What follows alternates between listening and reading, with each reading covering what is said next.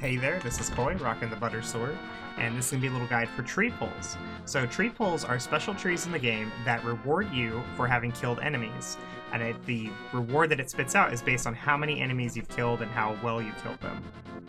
There are three tiers, which in the vanilla game are progressive between green, blue, and red rupees. But in randomizer, each tier is independently randomized, which means the easiest tier to get to could have the best reward or it could have the worst reward. And the only way to find out what they are is to pull it.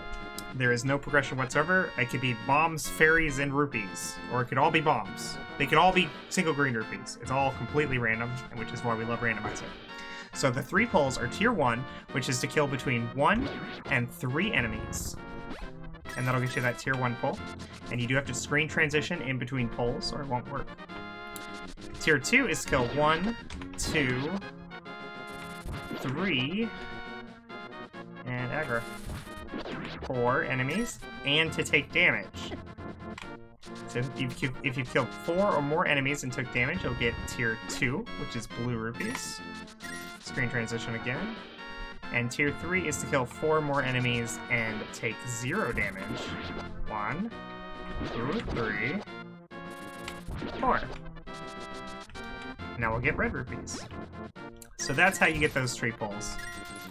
Real simple, right? Uh, so typically, your first tree pull would be outside the uncle. So let's flute over there real quick. So in typical routing, when you do like the, the uncle start, which is uh, pretty popular, you come up here, and since you have no weapon, you pick up this sign. And we're going to use this sign to kill a blue guard. Come here, buddy. Come here, buddy. You can pull the tree and get your tier 1 pull. Easy peasy, right?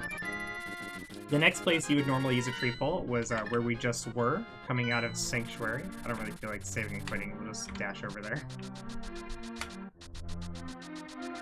Um, but uh, you can kill a green guard with a sign, or one of the buzz blobs with a sign, or kill a green guard in the uncle drop with a pot, because this does persist through save and quit. We're gonna kill this buzz blob. You get a tier 1 pull right here. Why didn't I... Why didn't it pull? I just killed him. Okay, I don't know. That was weird. Moving on. Uh, and then the next place you can do a tree pull is right outside the Thieves' Hideout. So we'll kill this, uh... Let's kill this guy. Whoa!